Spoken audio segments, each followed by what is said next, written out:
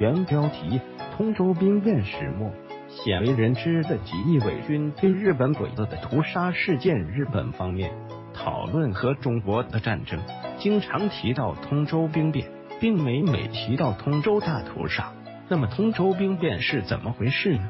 其实，通州兵变过程简单，没有什么太多好写的。这是一九三七年七月二十九日，在当时冀东防共自治政府首府通州发生的一起伪军反正事件。通州当时驻扎三支军队，二十九军的一个营，日军宣导连队和细川特务机关，伪冀东防共自治政府的两个总队。起义的是张庆余。张延田指挥的两个伪军总队，事情的起因很蹊跷。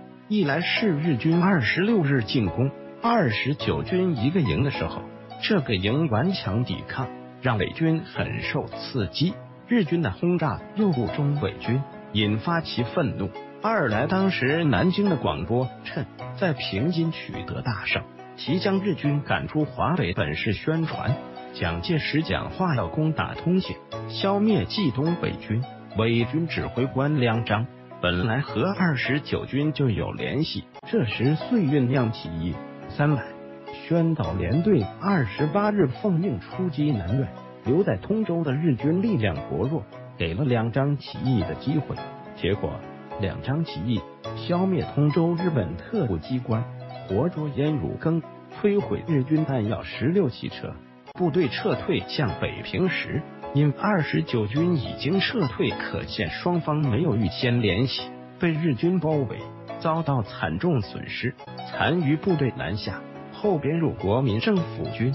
这样一起事件本来影响不大，但起义伪军中一些兵员顺手杀掉了若干当地的日本侨民，仅仅是部分侨民被杀，一半以上的日本侨民没有被杀。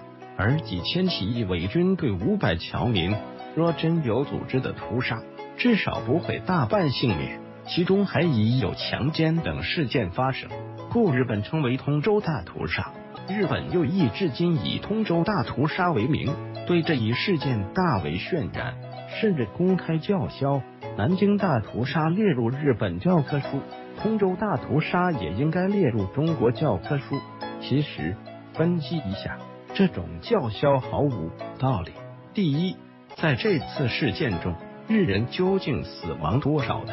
日本方面宣称，通州事件中共死亡二百三十五人，其中包括细川特务机关、日军汽车队等军人。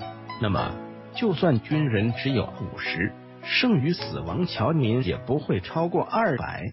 而日本人又承认死亡侨民其中朝鲜人占一半。那么，日本人在通州死亡的侨民，实际只有几十人而已。若算妇孺，则人数更少。说来不过一次较大的交通事故死亡人数，而日军在中国造成几十人死亡的屠杀事件，何止千起？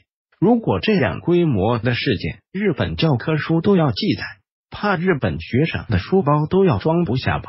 第二，日本拘留民是否是普通平民？实际上，无论是九一八事变还是一二八事变，日本的居留民都是手持武器和日军共同作战的。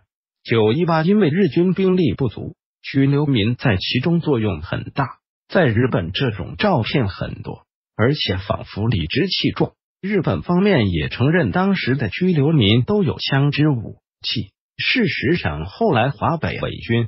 很多都是日本拘留民中的预备役军人训练的。既然你手持武器作战，又要求别人把你当做平民对待，不是很滑稽的事情吗？日本方面至今有很强的声音为当年的扫荡辩护，趁中国的老百姓给八路军提供补给和情报，所以被杀也是咎由自取。这个时候，日方很容易选择不一样的标准了。第三。除了规模，南京大屠杀与通州事件性质区别何在？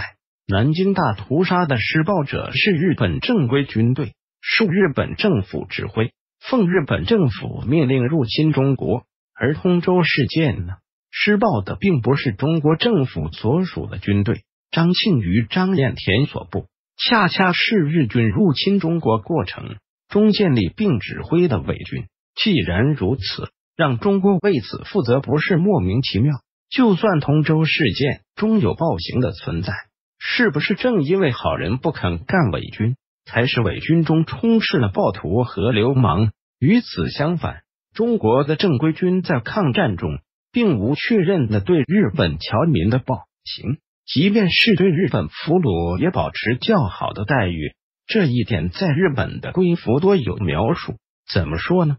都是中国人，在中国军队中。就有绅士风度，被日本人招收当了伪军，就变成了野兽。要真的把这件事写进教科书，是不是应该这个写法？日军把我同胞训练成恶徒，以致奸杀日人。